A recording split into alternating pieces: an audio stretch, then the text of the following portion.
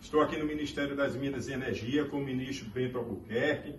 Agradeço a recepção dele, como sempre. Estamos tratando da lei do gás. Está na pauta da Câmara dos Deputados amanhã a votação desse projeto que vai transformar o Brasil.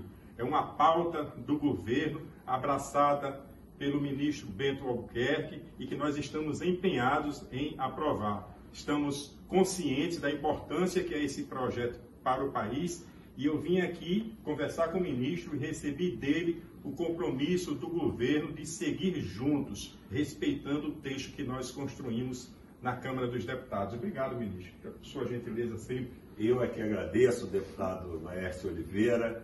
O senhor teve um papel fundamental para que esse projeto de lei fosse aprovado na Câmara dos Deputados por 351 votos e agora que ele retorna à Câmara, como nós temos dito, é o projeto original, é o projeto que o governo apoia, é o projeto que vai permitir investimentos cada vez maiores nesse importante setor da economia nacional. Então, deputado, nós contamos amanhã com a sua relatoria novamente, com o apoio das lideranças da Câmara dos Deputados para que a gente tenha finalmente esse projeto de lei aprovado pelo Congresso Nacional e muito brevemente sancionado pelo presidente Bolsonaro e também regulamentado por meio de decreto pelo governo federal.